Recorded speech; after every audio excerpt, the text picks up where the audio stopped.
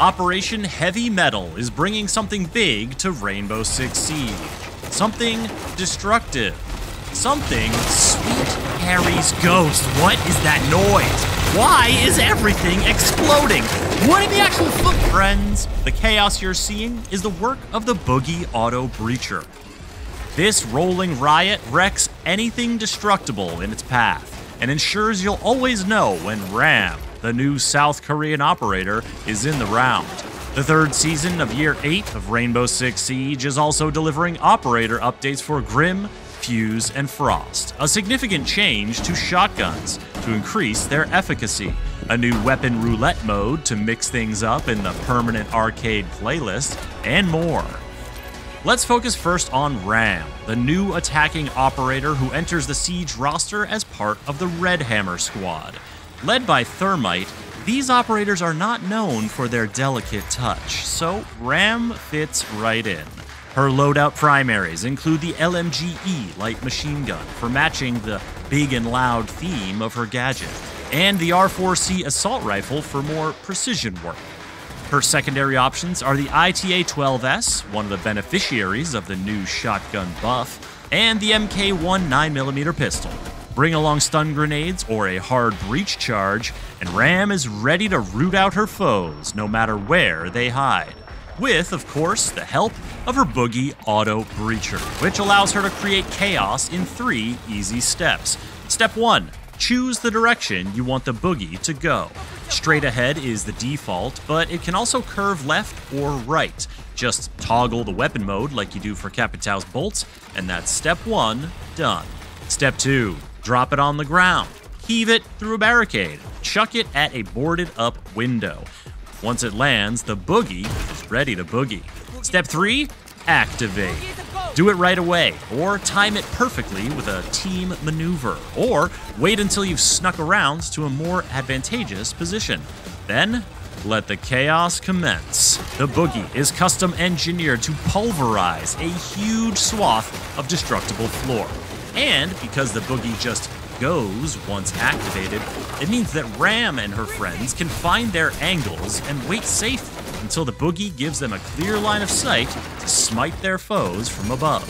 The boogie's destructive force applies to whatever is in its path as well.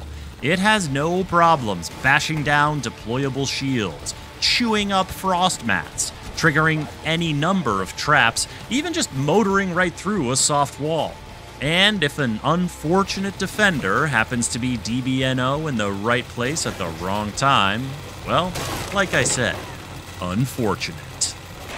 You've also probably noticed that the boogie creates an absolute cacophony, and all that noise is a huge strategic asset that you can use to cover any number of synchronized breaches or fuse cluster chargings.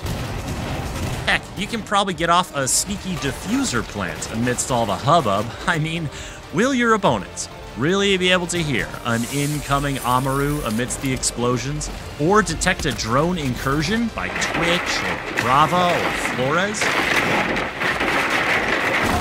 Maybe, but there's something about the noise and the fact that the ceiling is turning into a dozen deadly vertical sightlines that tends to be very distracting. Now, despite its bulletproof armor and explosive antics, the boogie can be stopped. An impact grenade, or C4, will destroy it, as will shooting the red canister at the rear of the device. Mute can also stop it before it gets started. His jammers cut off the signal RAM uses to activate her gadget. So, if the boogie is deployed in a jammer's radius, it won't go until the jammer is dealt with. Once it's activated, though, it's a purely mechanical operation that cannot be jammed, won't be stopped by electrified wires, and fears neither man nor God. The BU-GI Auto Breacher is built to break down defenses, open up opportunities for vertical play, and generally sow chaos and confusion among the defenders so that Ram and her teammates can execute their plans. Operation Heavy Mettle is also unleashing operator updates and a new game mode. So let's talk about those for a sec. Grim can now toggle his Kawan Hive launcher to shoot either sticky projectiles or ones that will bounce one time before landing and unleashing the bees.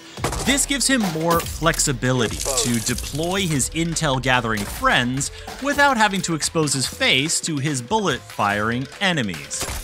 Combined with last season's buff that gave him new loadout options and increased how quickly his bees deploy, how much area they cover, and how long they linger, things are looking grim for Grim's enemies. Fuse's cluster charges will be deployable on deployable shields. Now, if that strikes you as a very risky maneuver, I agree. You'll also be able to deploy them on Osa's Talon 8 shields, as long as you don't mind showing any nearby defenders exactly what you're up to. And coming later in the season, a change to Frost's welcome mats that will allow you to remove yourself from the metal jaws of death, though you might still want to wait for a teammate's aid once you hear this next part. After escaping the trap, you are badly hurt, meaning you move more slowly, make more noise, and leave a blood trail that defenders can easily follow. These effects wear off after a time, and one day, in the twilight of your years, you might be able to forget the searing agony of your desperate escape. But in the meantime, probably best to continue avoiding frost mats. As for the new game mode in the permanent arcade playlist, it's called Weapon Roulette. It's team deathmatch with a twist. Everyone spawns with the same random weapon, and everyone gets the same new random weapon once the roulette timer reaches zero. It's a fun way to flex your skills across the Siege arsenal, and you don't really have to worry about getting caught switching in the middle of a shootout because your opponent will be having the exact same problem. There are a few more neat updates coming with Operation Heavy Mettle, so let's hit a few highlights real quick. Shotguns are getting a host of tweaks to things like spread, damage, range, and headshot modifier, all aims to make them more consistent and reliable.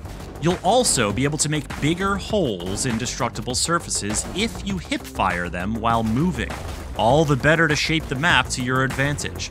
Note that these changes do not affect slug shotguns like the TCSG 12, ACS 12, and BOSG. You'll also notice a few changes when you hop into Quick Match.